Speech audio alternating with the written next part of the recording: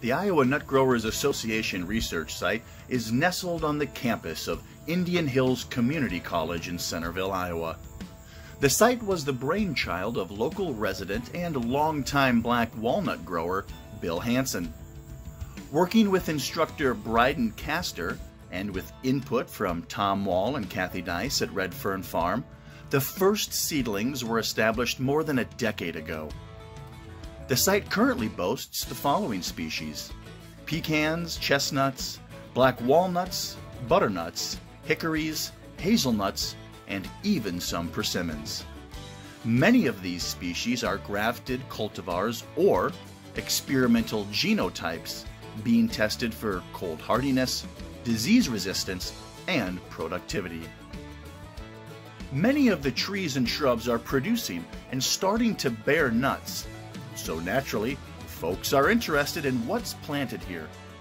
Bryden Castor, instructor with the Indian Hills Sustainable Ag Program, gives a brief history of the site and its establishment to participants of the Southern Iowa Agroforestry Field Tour on Saturday, October 2nd, before heading out into the field to see some of the grafted trees and shrubs. Some chestnuts and the persimmons especially are loaded this year. Let's go take a look. Um, here's uh, our chestnuts have been producing. Um, and so this is loaded up pretty well. These three right through here. Um, if you're going to pick up any of the hulls, I recommend gloves. uh, but if any of them fall, if you want to open them up, you can see some of these are starting to split open um, right here. And there's the chestnut size this year on these trees is very good. They're really big. Where are they at? There's some right here. Oh yeah. See right in there. See a couple more up higher. They're very. Uh, so they'll split open like that and then drop to the ground. So some some varieties will split the the hull split open on the tree and drop the nuts to the ground. Uh-huh. Um, this will do a little of both. Um, you can see some of these that are open and empty, and, and if you wanted to, you don't want to be standing under when you do this, but Neric could go stand in there and shake that. Sacrificial lamb maybe. They're holding on still pretty tight. But if you want to pull any of these off, uh, feel free if you want to get a closer look. Who's cool? Uh, Where's that guy with the nippers? Did we lose him? If you get one on the ground, yeah. the best way to handle them, we'll just step yeah. on each side with your shoes. Yeah. Open that up. Oh, nice. Oh, wow. Look at that. I suppose those would classify as jumbos, maybe. Those are pretty big. Wow, that's amazing. Do we know what kind this is? Uh, this is just a Chinese chestnut. I don't know the variety name. I could look back to some of our orchard maps and tell you. just lots of issues. They work, but this is a lot cleaner look, and for our purpose, we want it to look nice and then put it under the cake Oh, look, it fell to the ground.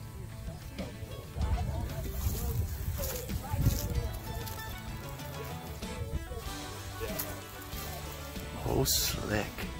Is your three? Yeah. Three plump ones or two plump ones and a. Let's see. Yeah.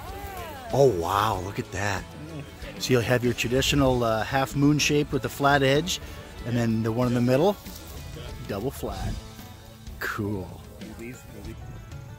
We have this big, beautiful pecan tree, and it has nuts. Absolutely. So there's several spots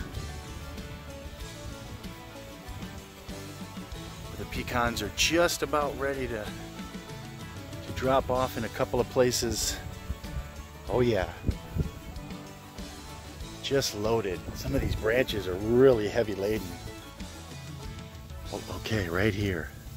So that this one is, yep, there it is. There's our pecan. Woo, boy. One of my favorites. So could we take a real quick uh, poll here? Raise your hand if you call these pecans. Oh, there's a handful. What about pecans? Okay, definitely pecans have it. We're a pecan crowd here. But in California. What do they call them in California? Pistachios? That's not even the rest. uh, this tree was basically just topped. And it was, it was probably this big around at the time, maybe four or five inches. Um, and I don't know who was in charge of this one. We had a, we had three or four different guys kind of took groups out to graft.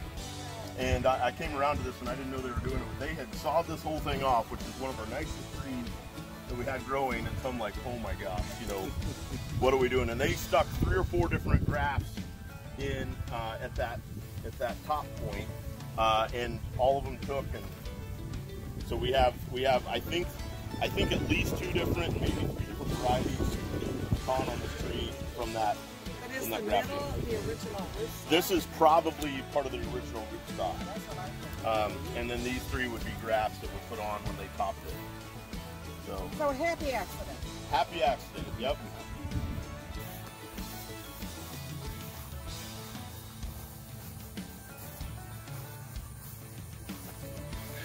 Well, we're here at the Persimmons. 20, oh boy,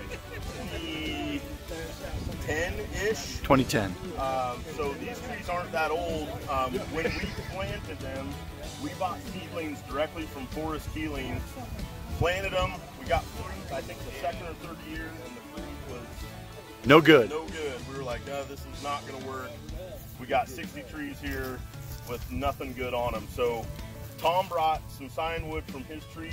Uh, we were down at that end of the orchard, and we quite literally, um, he showed us how to do it on one tree, a group of students, and we cut the students loose using his uh, modified chip bud uh, grafting method. Um, and we literally turned a group of students loose that had seen this happen once, uh, never grafted before, uh, done anything really, um, uh, you know, with agroforestry, and they had about a 95 plus percent success rate.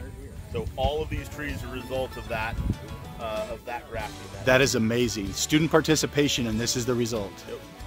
And you can go back um, if you want to kind of see the, um, the evidence of that. The- I just noticed I was here yesterday uh, with some. I had some. We had an event here on campus and we brought a group of younger kids down to have them taste some persimmons so they you can watch their face pucker up. So- but I noticed that a couple of trees had. Uh, you know, they had put out a sucker below the graft, and we hadn't caught it and pruned it. So you can see the difference in the leaf uh, shape and style from that old variety versus the grafted variety. Um, that's a good example. I think it's just back that way. Uh, maybe uh, a couple of the trees you can't really see from here, but you can see there's no fruit on that side. Uh, the other side that's the graft is loaded uh, with really good quality fruit. So Are these all one type? there, I believe there are two types. Okay. So Tom had two varieties in his yard, and we we grafted both on.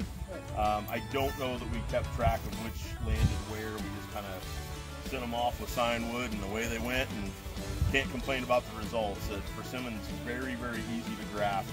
Uh, takes well to that. What's the commercial market? Um, I see it in Walmart sometimes, uh, but it doesn't look like this. Uh, so the varieties, uh, yeah, the, the varieties you see are going to be much more firm, which is better for shipping and uh, having a shelf life in the store. As you can tell, walking around eating these, when you get a good one, they've got to be really, really ripe, not very shelf stable. So,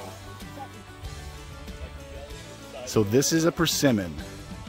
What do you think? Is it an acquired taste? Excellent. Unbelievable the productivity here. So these are all grafted varieties from Tom Waller Redfern Farm on Forrest Keeling rootstocks. Before we leave, a picture of the group, at least part of the group.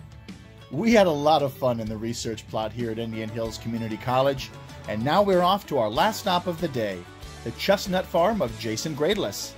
I have confidence that there will be a part three to the 2021 Southern Iowa Agroforestry Field Day.